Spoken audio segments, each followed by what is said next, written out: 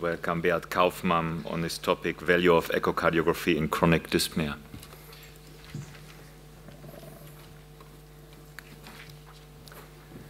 Thank you very much. Um, so what is the value of echocardiography in chronic dyspnea, which lasts longer than one month, is mostly caused by cardiac or pulmonary problems, and is multifactorial in up to one-third of patients.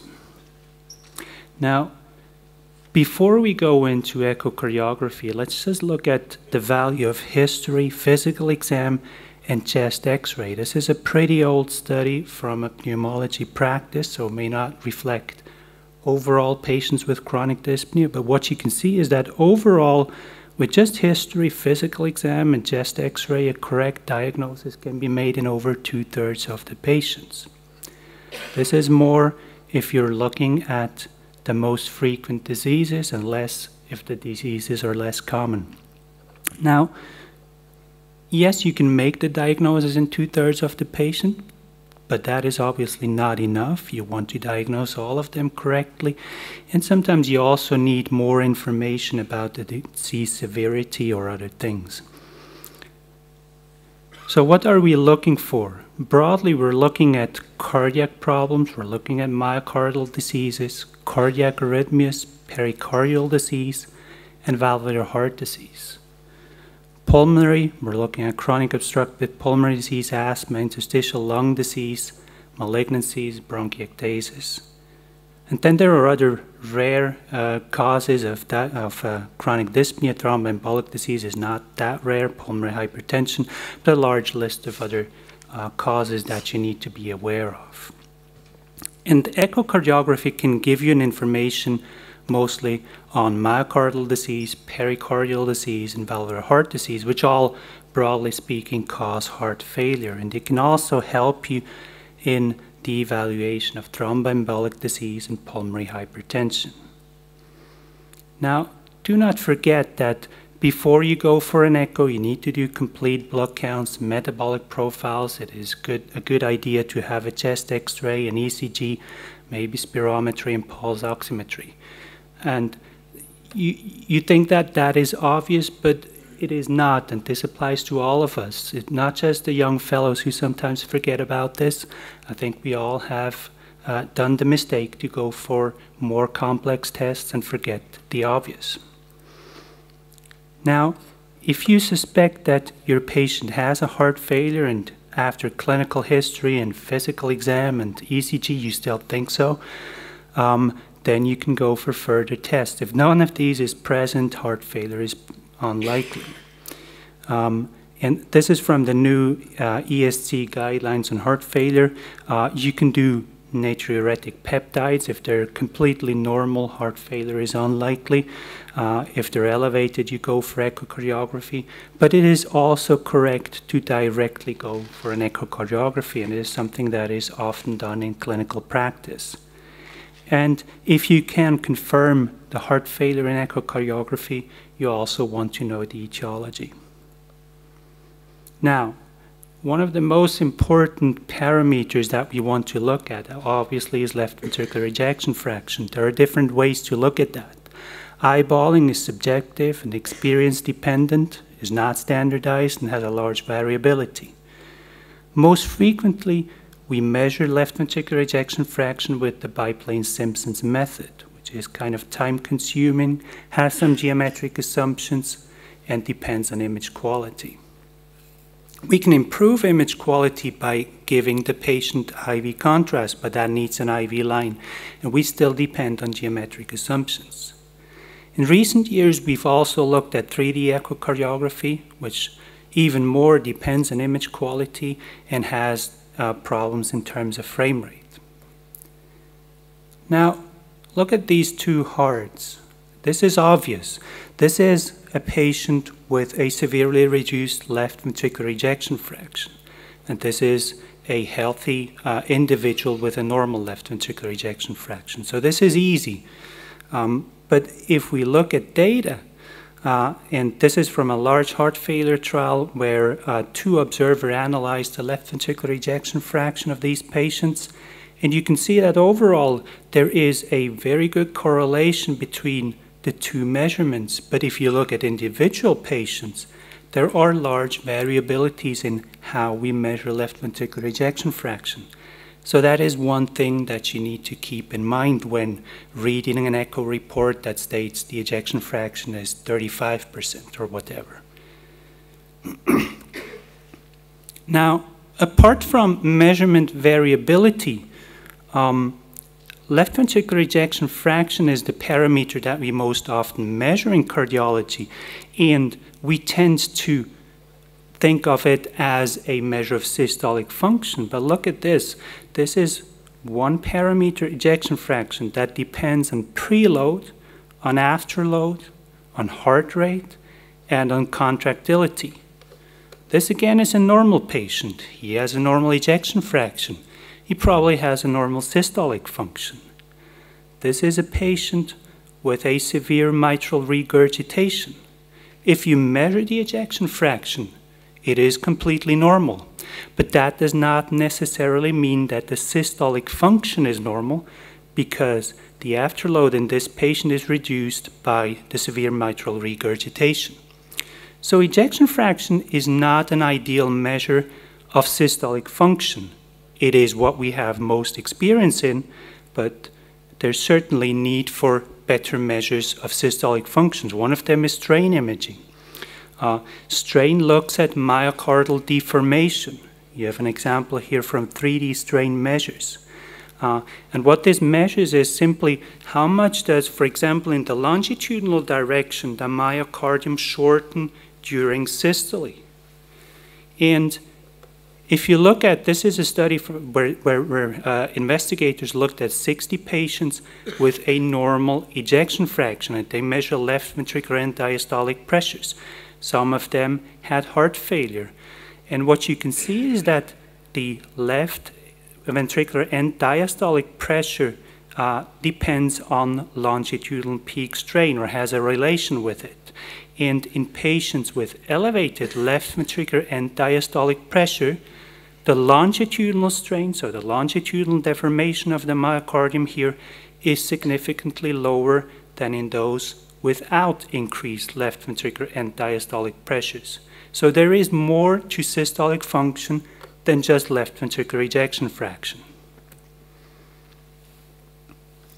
Now, you can also get heart failure with a normal ejection fraction if you have diastolic dysfunction, heart failure with preserved ejection fraction.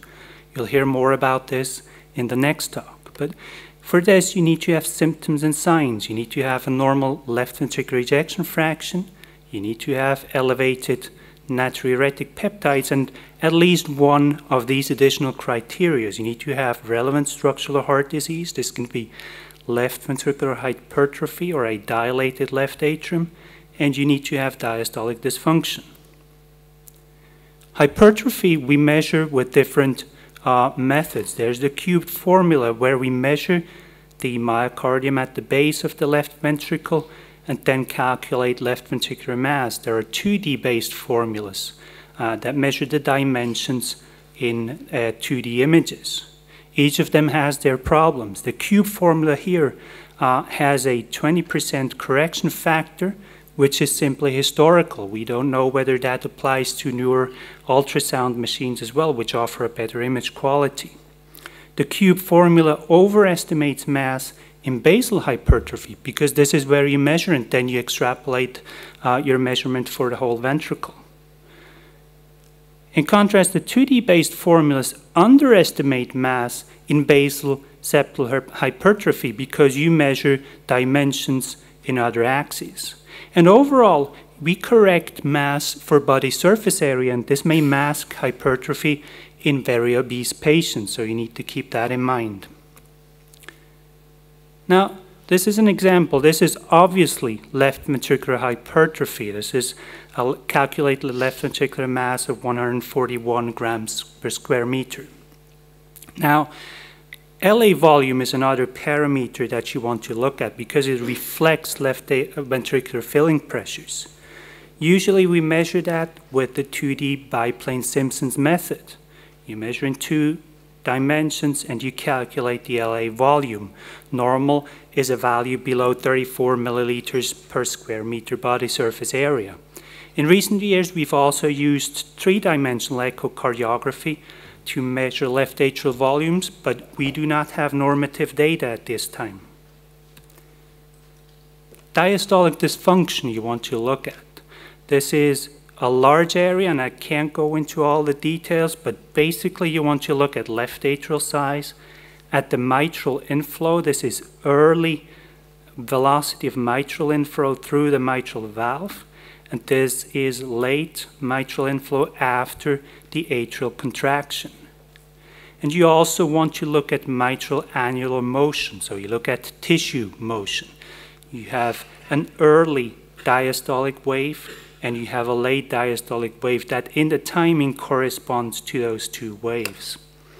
And you can look at the relation between the velocity of the mitral inflow and the velocity of tissue motion. There's a number of studies that look at the correlation between diastolic dysfunction and these parameters. This is one of them 43 patients with normal ejection fraction and a diastolic dysfunction confirmed by invasive hemodynamics and 12 control subjects. And you can see that this parameter correlates overall with parameters of diastolic dysfunction that are measured invasively. However, what you can also appreciate is that there's quite some overlap between normal and abnormal. And this also is reflected in how we uh, interpret these measurements. You can measure average E to E prime. If it's over 14, it suggests diastolic dysfunction. You can measure septal velocities and lateral velocities of the tissue motion. You can also measure pulmonary pressure, which will rise as a reflection of increased left ventricular filling pressures, and you can look at the left atrial volume. If less, of, less than two of these are positive, you probably have normal diastolic dysfunction. If more than two of these are positive, you probably have diastolic dysfunction. But in between, there's an area of indeterminate where you don't know how to interpret this. There are more factors to look at, but this is not uh, is out of the scope of this. But this is due to the overlap in the measurements. Now, we've talked about systolic and diastolic dysfunction, and I've told you that we can also look at the etiology. I'll let you have a look at these four so you can make up your mind what you think you have here. So, this is from a patient with coronary artery disease. You can see a wall motion defect here, and he has reduced systolic function. This is from a patient with hypertrophic obstruct obstructive cardiomyopathy. You see an increased septum thickness. This is almost three centimeters on the one hand. And what you can also appreciate here is systolic anterior motion of the, of the mitral valve. You can see that during systole, it moves towards the outflow tract. And this is a sign of dynamic obstruction in the left ventricular outflow tract. This is left ventricular non-compaction. This may come as a surprise to you. It's a disease that not only exists in Zurich, but also in other parts of the world. Um, you have thinned compacted myocardium here, and you have a large layer of non-compacted myocardium with recesses and these patients can go into heart failure over time. And last, you have here an example of cardiac amyloidosis. You see pseudohypertrophy here of the left ventricle, but also of the right ventricle. And in addition, you see increased uh, reflectance of the myocardium.